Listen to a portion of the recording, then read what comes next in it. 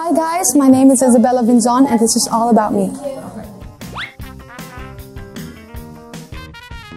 Okay, so my real name is Isabella Vinzon and um, my dream job is um, I think I want to produce music. I want, I want to make more songs in the future.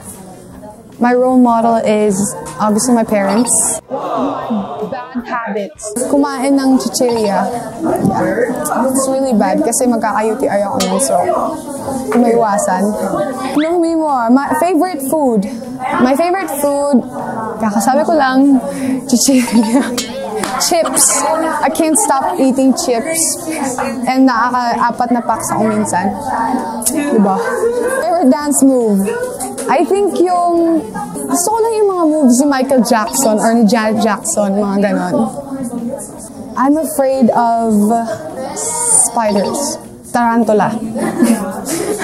I want to be more active sa sa ano sa school and sa ano sa everyday life ko. Ganon, exercise more. Pick one, TV series or movies. Um, depends on my mood, but usually pag nag-Netflix ako movies kasi yung pinapanood ko. So, yeah, movies. Concert or music festival? I think concert. Kasi sa concert, I want to focus on one artist. So, yun. Milk tea or iced coffee? Milk tea. Kasi I'm more into, hindi ako masyado nagko-coffee. Beach or mountains?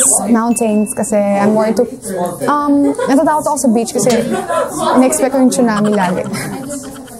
yun.